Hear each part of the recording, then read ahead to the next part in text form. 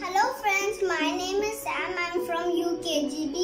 Do you know something? My father is special to me. He's brave, kind and smart.